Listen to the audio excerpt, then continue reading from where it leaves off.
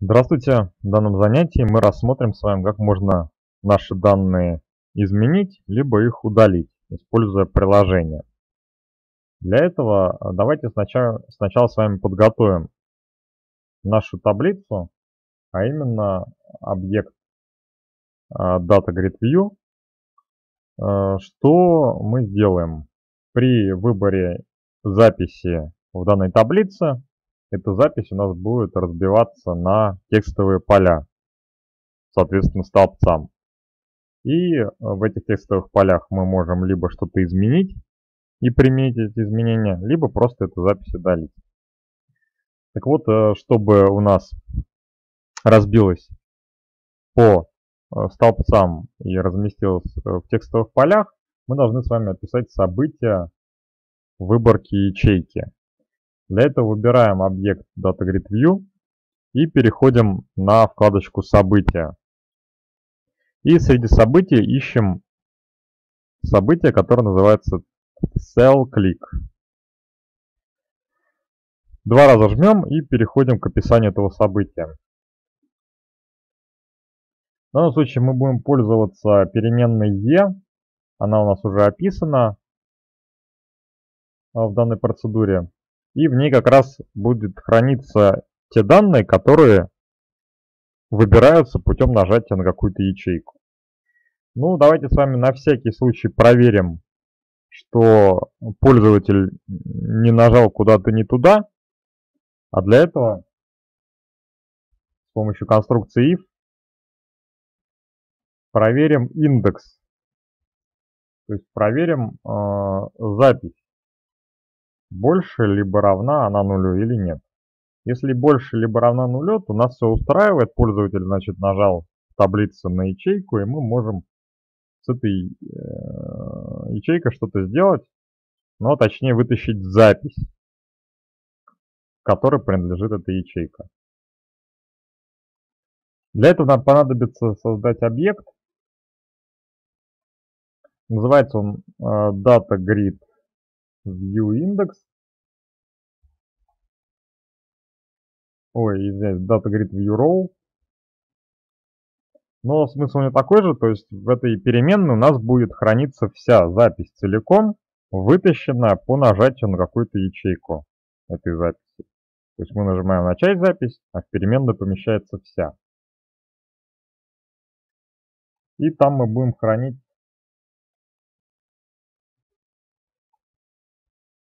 то, что пользователь выбрал.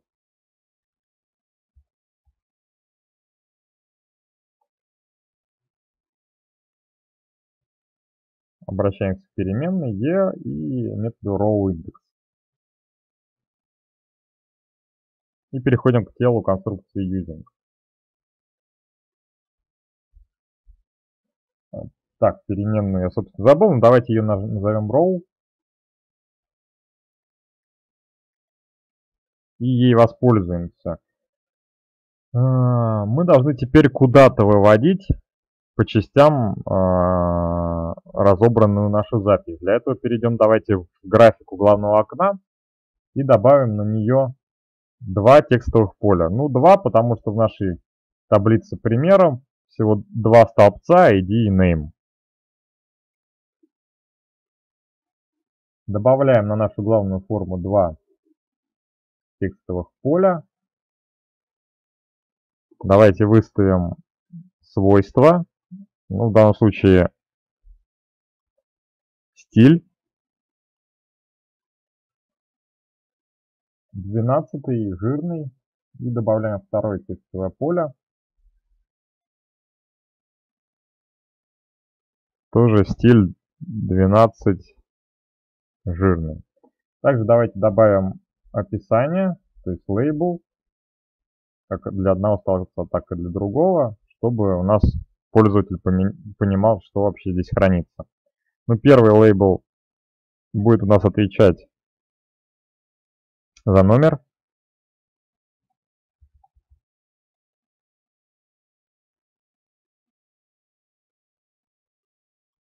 И второй лейбл будет отвечать за название.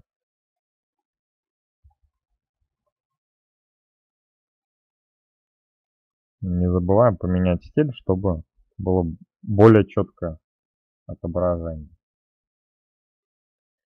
Отлично, возвращаемся к коду описания нажатия на таблицу.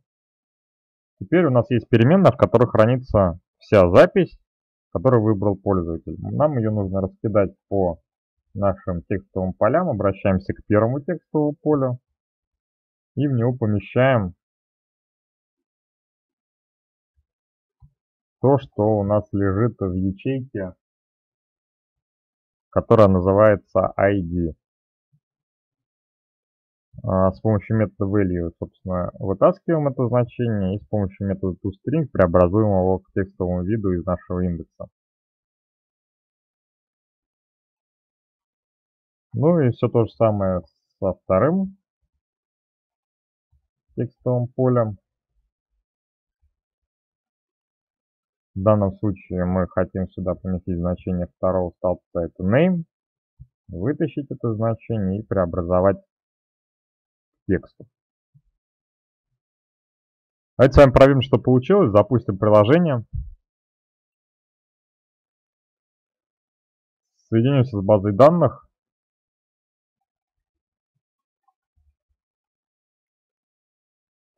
Выведем данные и попробуем что-нибудь выбрать, например, третью запись.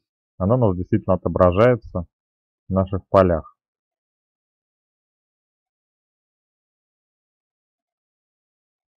Все отлично. Закрываем приложение. Теперь добавим на нашу главную форму две кнопки. Два объекта button. Давайте чуть пониже. Не забудем стиль.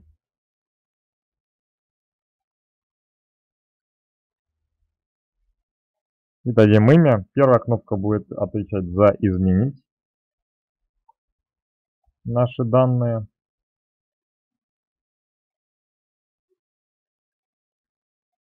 Вторая кнопка будет отвечать за удаление наших данных.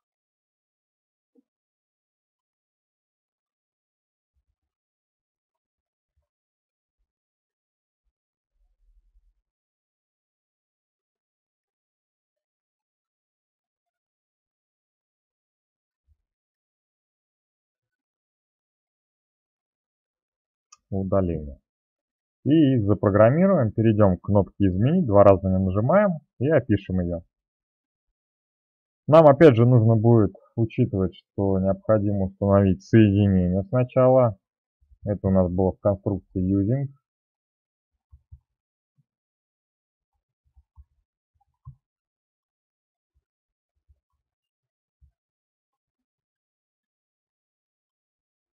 И э, как параметром для этого соединения надо указать строку соединения. Она у нас хранится, напоминаю, в классе data, переменная value. Для того, чтобы у нас определился собственно, наш класс SQL Connection, мы добавляем библиотеку с помощью помощника. Дальше нам понадобится объект команды, SQL команд.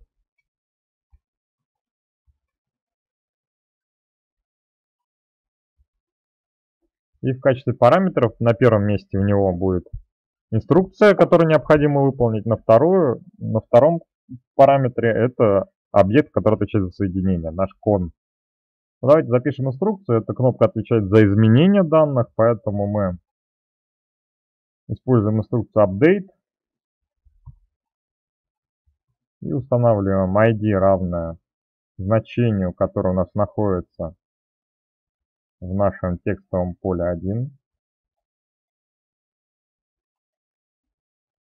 Еще раз обращаю ваше внимание, что когда мы присоединяем к тексту значение с переменной в инструкции, мы сначала ставим апостроф, двойные кавычки, соответственно, знак конкатенации плюс. И также, когда закрываем, то идут сначала двойные кавычки, потом апостроф. Так, мы ID сохранили, ставим запятую, изменяем поле name, если это вдруг было сделано. Опять апостроф, двойные кавычки.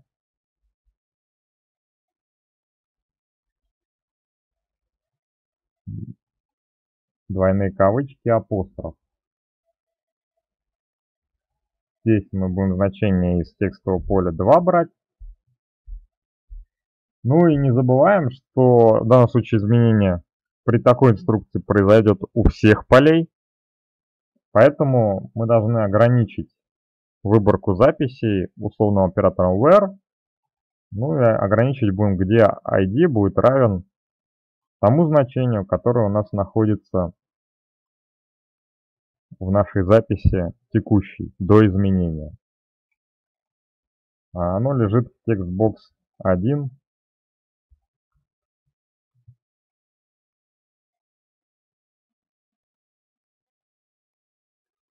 Ну и не забываем, что у нас есть второй параметр, это объект соединения con, который мы должны указать. И переходим к телу конструкции using. Мы будем делать попытку выполнения нашей команды с помощью метода execute non-query. Если все получилось, то мы очистим наши текстовые поля от записей, которые там были, методом clear.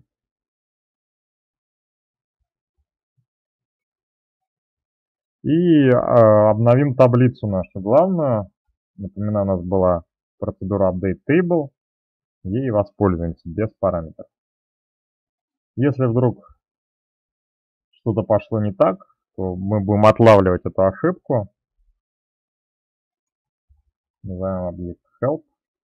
И будем выводить на экран пользователя нашу ошибку с помощью метода message. Это что касается изменения. Давайте с вами попробуем запустить приложение, соединиться и что-то изменить. Выводим данные, выбираем, допустим, третью запись. Ну, давайте поменяем название на название 4.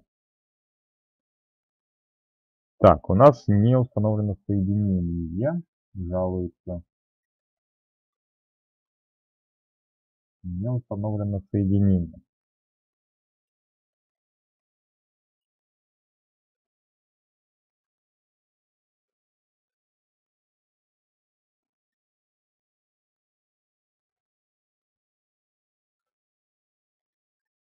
А, ну естественно, я его не открыл.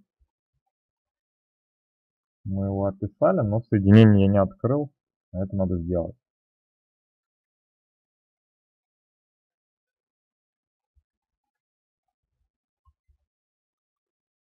Выводим данные и опять попытаемся изменить название на 4. И как видим, все получилось. Ну, давайте вернем. Таким образом, изменение у нас работает. Попробуем удалить какую-то запись. Для этого закроем запущенное приложение, перейдем к графическому окну. Два раза нажмем на кнопку «Удалить». В принципе, основа э, для удаления будет то же самое, что и для изменения. Поэтому всю конструкцию using мы копируем, вставляем для удаления и будем изменять только инструкцию. Мы будем удалять из таблицы пример все то, что соответствует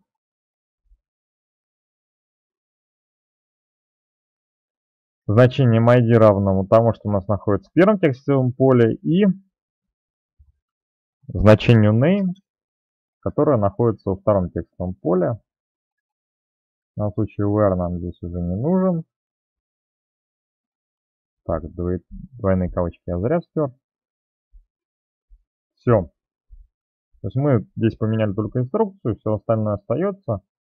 В принципе, таким образом можно вот такие похожие процедуры объединить в одну, но с параметром, в качестве параметра будет передаваться строка инструкции. Давайте попробуем что-то удалить. Запустим приложение, соединимся.